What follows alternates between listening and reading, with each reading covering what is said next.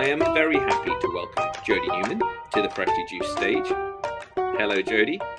Good So, uh, hey, Jodie, thanks very much for being with us today. It's wonderful to have you.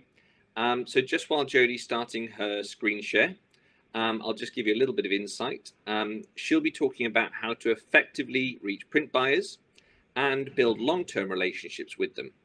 So, Jodie, I will now leave it over to you. Okay, good morning, everybody. Lovely to be here. Um, welcome to the corner of the business allotment that is all about building paths.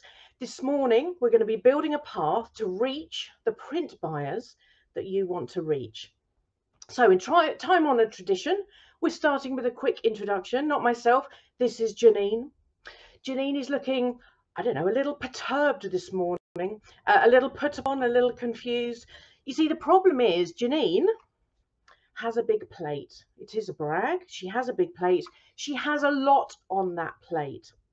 Why? Well, because Janine works for, uh, let's say, a medium sized retailer. Uh, they have a number of retail outlets. Uh, they have a thriving online business and a growing customer base. So think uh, Oliver Bonas, but maybe a little less smug. Uh, so Janine's boss has just asked her to sort all the print items for all the in-store promotions and seasonal uh, campaigns for in-store. She's been asked to find someone to create their first full customer uh, DM campaign and also look at their online fulfillment. So she has a lot on her plate. Now, the problem Janine has is that she's not actually a print buyer, she's a marketing manager. So she has all this on her plate. She has no print expertise because she's a marketing manager. She has no time. She gets poor current service from her printers. I mean, obviously, nobody in the room. Uh, she needs, she's constantly being asked for better return on marketing investment. Her boss keeps badgering her about cost effective print innovation, or as we like to call it, the moon on a stick. And she generally just has a lack of resource around her. As a marketing manager, Janine is digital savvy, but she is ink ignorant. And Janine may well be your perfect prospect. So today we are going to take Janine on the path and build a path from prospect, Janine as your prospect, to the point at which Janine throws her plate away in glee and purchases from you. Now, Janine may not be your perfect prospect, but you know somebody like Janine. So imagine building this path for that type of prospect. So the prospect to purchase path is very simple. There are three stepping stones. Here's Janine. She is your prospect in her marketing stomping boots. Uh, we're going to take her through awareness to engagement and finally to that all important action where she purchases from you. And there she is, a happy customer. Okay, so we're going to do a whistle stop tour through these three stepping stones. Awareness. So let's assume that Janine, your prospect, doesn't know who you are. So obviously, the only question in her head who are you? Your job at the awareness stage of this marketing stepping stone is to answer that question. How do you do this? Well, you focus on standing out. So we are all virtually rubbing shoulders with lots of other people in this room who do what we do. Poor Janine, she's looking at you all. She doesn't know one from the other. You need to focus on creating standout. Now, the sort of activities you'll be doing at this awareness stage, things like social media, networking, direct mail, print ads, PR, all that kind of good stuff, where you are broadcasting content and messaging out one to very many. At this point, you demonstrate this a memorable brand story, which links directly back to your ability to stand out. When I say brand story, I mean the story you tell about your business, your values, your positioning, your mission, your um, what the way you do what you do. That all is wrapped up in your brand story. Now, I'll give you a tool to think about.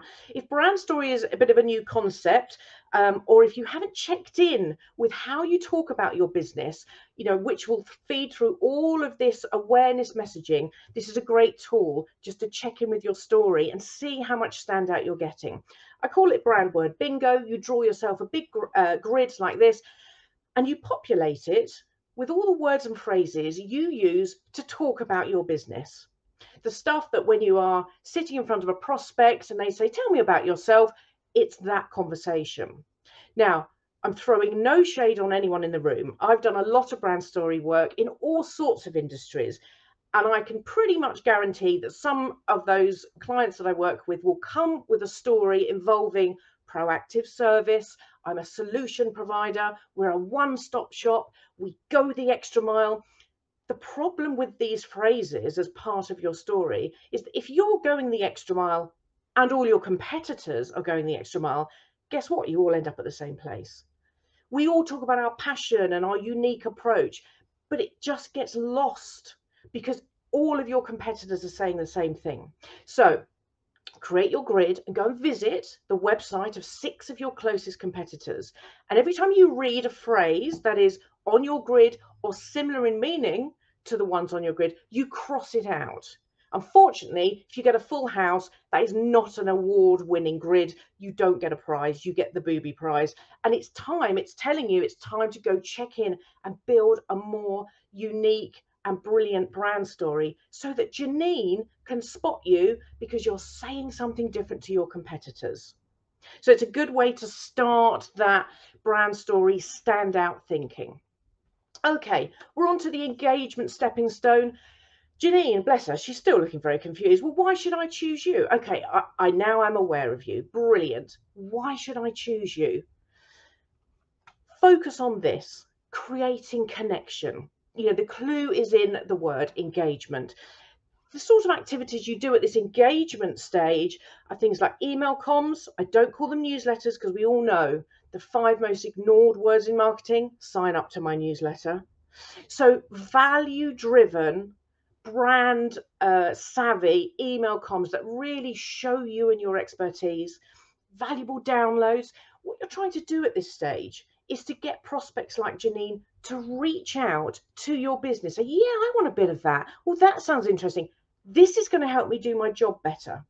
So, social media engagement, not the post and run, the actual hanging around, doing comments, creating relationships via DMs and all that kind of engagement stuff.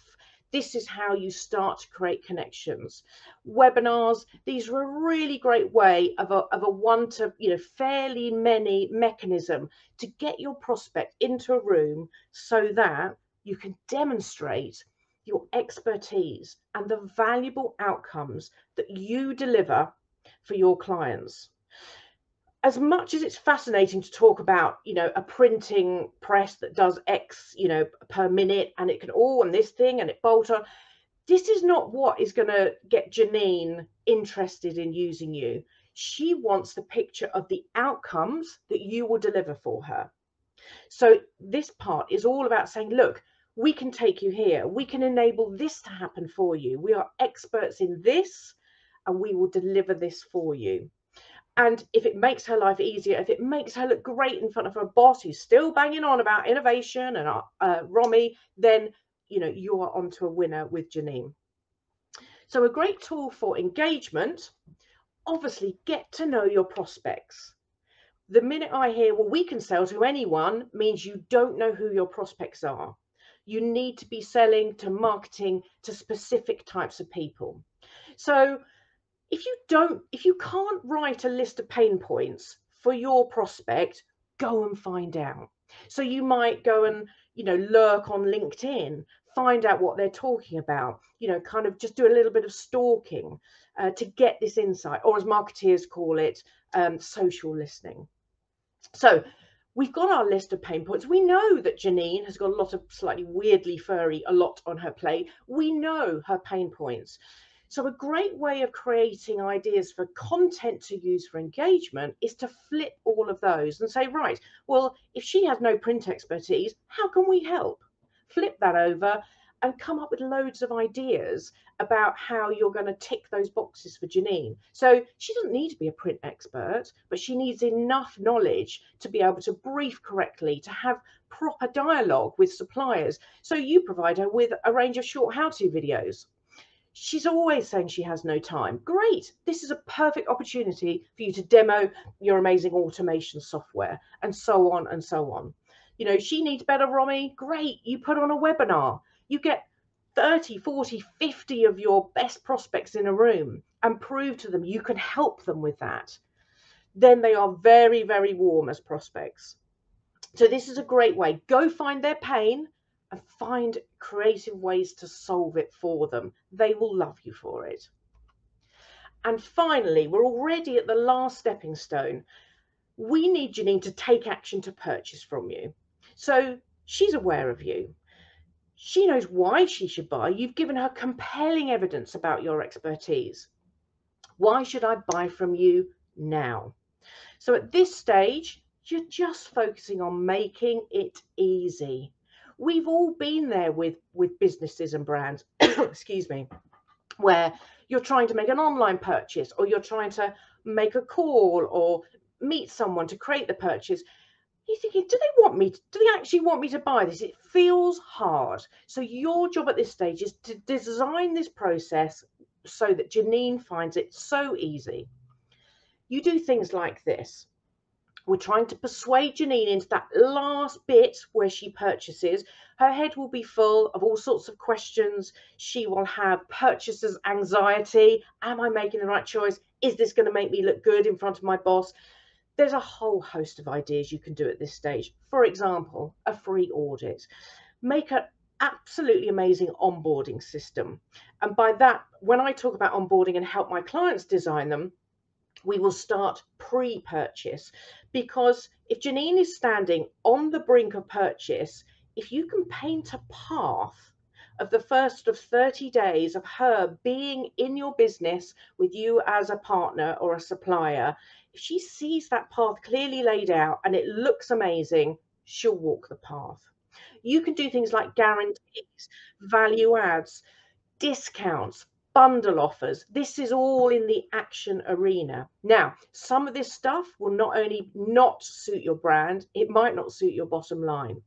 So choose these carefully uh, and, and kind of you can execute one or two, you will really help that prospect make that final step into purchase. Because you need to demonstrate this, that you are a trusted resource. So make it easy um, you know, you could show her things like other testimonials, social proof, case studies. So she has all the evidence in front of her. She's going to make the right decision choosing you. There we go, Jodie. Well done. Okay, I've no idea how long. I, I was I forgot to set my timer, but I presume that was about right. Yeah, no, that was perfect. Thanks so much for that.